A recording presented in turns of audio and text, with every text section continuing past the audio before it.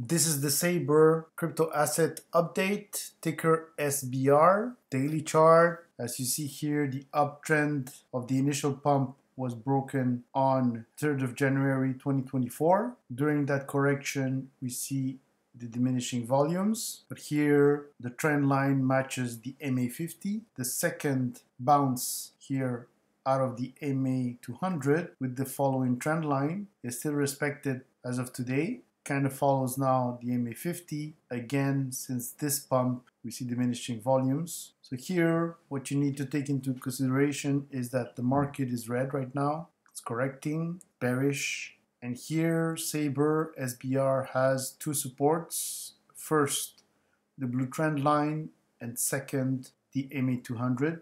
It's going to trade sideways until something happens with Bitcoin.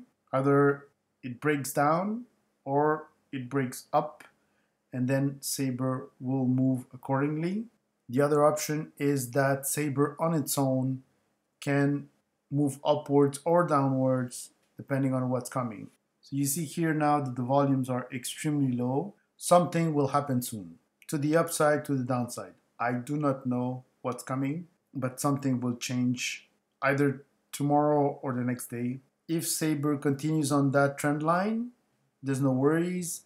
If it finds support in the MA200, no worries. If it breaks clearly below the MA200, then is a really, really red flag. You have to be patient. Many assets have been correcting quite hard recently, especially if you invested in altcoins. You need to keep your cool and see what will happen with Bitcoin before doing anything else. We are two weeks from the halving.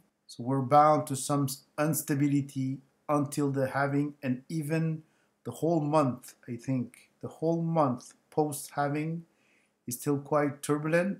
It's not always goes up. We have seen after the halving corrections to the downside also. Very turbulent period. But the second month after the halving, that's when historically we have seen very bullish moves. So be patient have waited the whole bear market. A few weeks won't change anything. Do not trade with leverage, only spot and hodl. Be patient with the assets that you have. Hope you enjoyed this video. See you on the next one. Ciao.